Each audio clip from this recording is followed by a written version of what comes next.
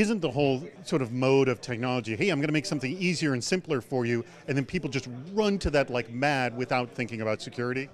Yeah, I'd agree. I mean, I think that's the nature of innovation, right? I mean, you, you want to make something work, and that's the most important thing, and people try to secure it later. I think part of it is, can we catch up with the security fast enough before we get into trouble?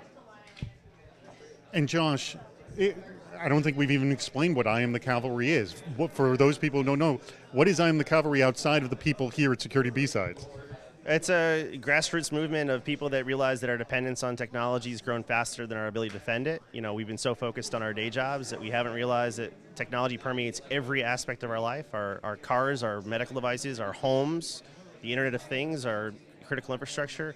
And we want our best and brightest to, to put some of our skills in a, in a pro bono way towards things that can affect public good and public safety.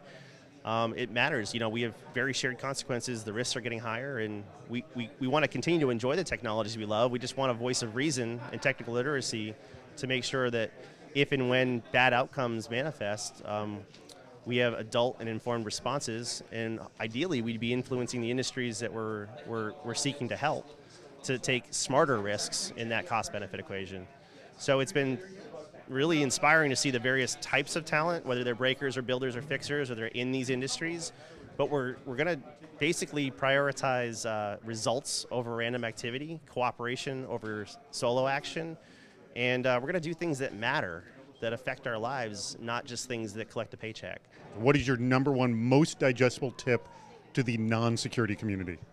Uh, I think it's just be aware of the uh, potential um, side effects of technology as we continue to adopt it. For physicians, when you prescribe a certain treatment on a medical device, understand that there could be side effects with that medical device just as there could be with any kind of medication. Uh, and for everyone else, it, it follows kind of the same logic. I like that. Side effects of technology like medication. Do you have another most digestible tip for the non security community? I'd say just um, start asking the question. So we, we, encourage, you know, for example, you're going out to get a new car, ask the question, what, what type of security is in this thing? You have this fancy new, you know, GPS and navigation, ask that question. And same with, you know, patients. You're going in, you're talking to your doctor about your new insulin pump. Ask the question, you know, is, is there a security issue here? All right, and I will conclude with you. What is the most digestible tip you would give to the non-security community?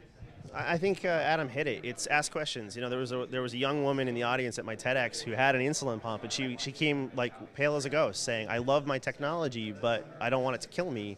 What can I do?" She said, "I'm not a researcher," and I said, "Ask your doctor about the risks associated with this device." Because the simple question will make the doctor go research it, which might change shift, might shift uh, spending behavior, which might get the attention of a you know a product manager at the, the device manufacturer basically until we're talking about it aware of it none of those free market forces and the curiosity and the dialectic can happen. So i think it starts with asking well-formed questions